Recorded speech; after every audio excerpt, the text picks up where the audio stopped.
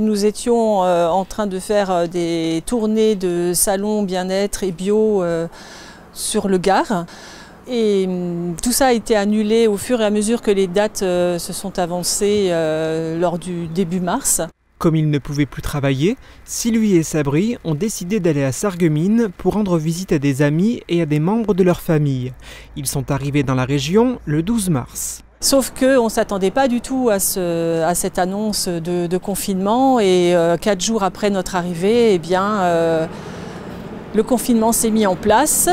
Nos amis n'ont absolument pas de terrain pour nous accueillir et on ne savait pas du tout quoi faire. On a téléphoné à la préfecture pour savoir si on pouvait remonter, redescendre dans le sud-est et il ne nous a pas été possible de le faire. Ils ne nous ont pas du tout donné d'autorisation ni de dérogation. On n'avait pas du tout euh, le choix que de rester. Ils se sont alors mis en relation avec la mairie de Sarreguemines pour obtenir l'autorisation de s'installer gratuitement sur l'aire de camping-car de la commune. Il leur est en effet difficile de payer le stationnement, l'eau et l'électricité. Notre euh, gagne-pain, c'est les marchés, c'est les salons et c'est comme ça qu'on gagne notre vie.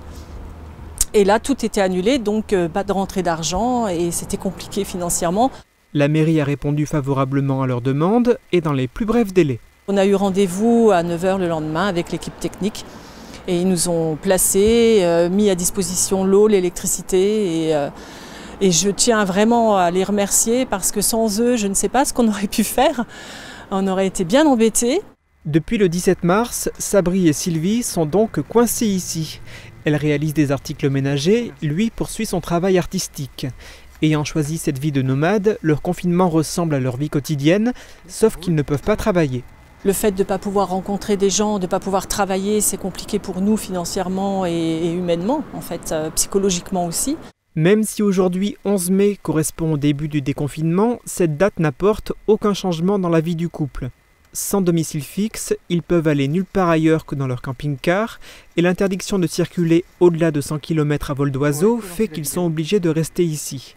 Une autre interdiction les pénalise aussi. Tous les marchés, les salons, les, foires qu'on pourrait faire euh, ne sont pas autorisés euh, avant septembre, apparemment, si tout va bien et s'il n'y a pas de contre-ordre d'ici là. Donc, euh, eh bien, on ne peut pas travailler. Cette situation si particulière est bien évidemment exceptionnelle de par la particularité du mode de vie et de l'activité professionnelle de Sylvie et Sabri. Ils estiment néanmoins que le confinement a du bon, il a permis à la nature d'être magnifique cette année et rendu l'air beaucoup plus respirable.